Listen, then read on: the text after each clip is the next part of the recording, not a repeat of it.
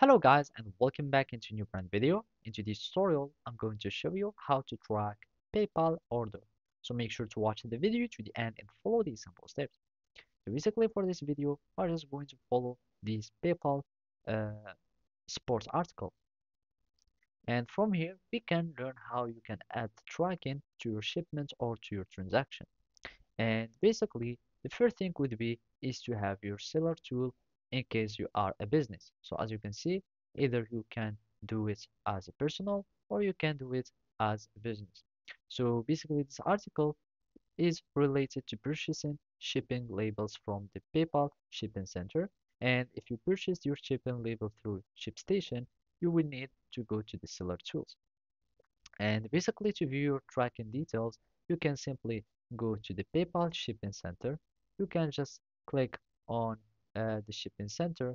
And basically you can go to your filled order tab and from there you can start tracking the shipments.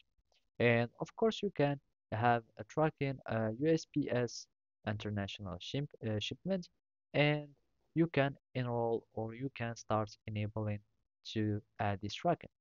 So here there is also this topic on how you can add your tracking to your payment or uh, updates order states. So basically, the first thing would be is just to go to the activities.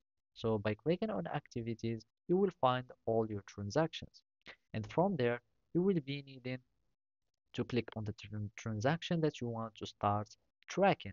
And basically, when you find the purchase you want to update, you can uh, click get your money.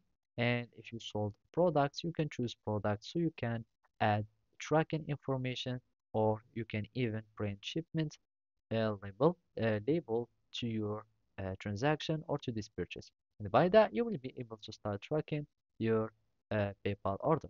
So basically that's it thank you for watching. And see you next time